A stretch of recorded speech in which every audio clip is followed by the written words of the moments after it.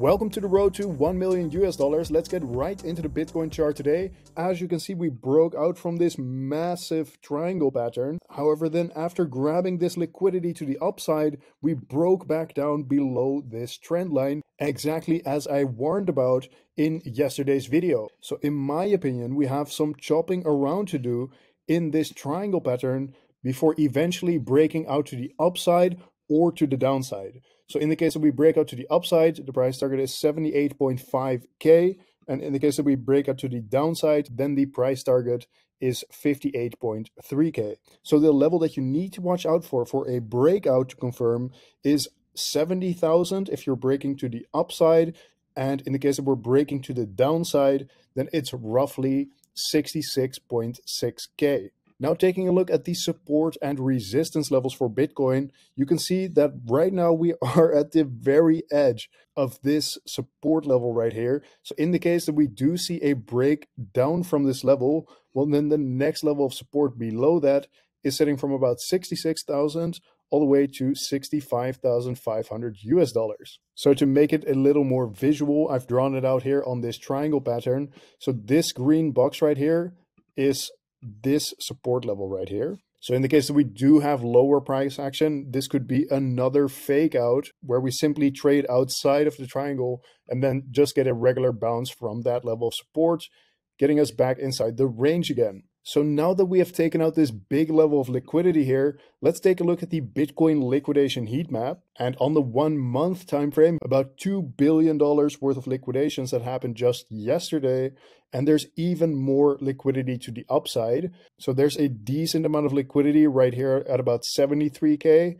And then even more liquidity, about $2.2 billion worth of liquidity at 74,000. And as you know, if you regularly watch my videos, typically the Bitcoin price gets attracted to where there's most liquidity on this chart. So for as long as we are trading inside this range or at the very least above this trend line and the most amount of liquidity is to the upside right here, well in that case I still think it is more likely that we break out to the upside and ultimately this pattern will break out before April 19th. However, in my opinion, it is very likely that we actually break out well before then because the Bitcoin halving is in 10 days also on April 19th. So this will obviously cause a lot of volatility in the markets. And this volatility is why I am expecting a breakout either to the upside or to the downside before the Bitcoin halving.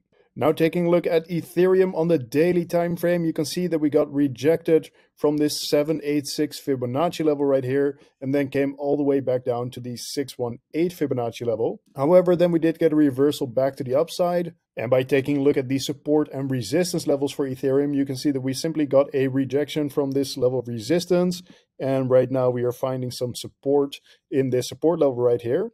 So in the case that we do break back up to the upside, well, the next level of resistance that I would take a look at is first of all 3650, but then right above it from 3750 up to 3800. However, in the case that we do lose this level of support, then you need to take a look at this level at about 3330. This is the Fibonacci level. And then right below that at about 3250 down to 3150, we have another big level of support that you need to keep an eye on. And right now, there's not too much else to say about Ethereum. We're simply trading sideways, and I will check back in on this tomorrow. Lastly, taking a look at Solana right here. After finally finding some support at this level right here, we did not manage to flip this into a level of support. So this is currently still a level of resistance, and we broke back down into this level of support. So the levels that you need to watch in the short term here is first of all this support level right here from about 171 down to 167. And in terms of resistance in the short term, you need to watch for this resistance level at 176 all the way up to 181. Because in the case that we do break out above this level, then the next level of resistance for Solana is 187 all the way up to 192. However, in the case that we do break below this level of support, then the last line in the sand for Solana right here is at 162 because as soon as we lose this, we're basically going straight to $150.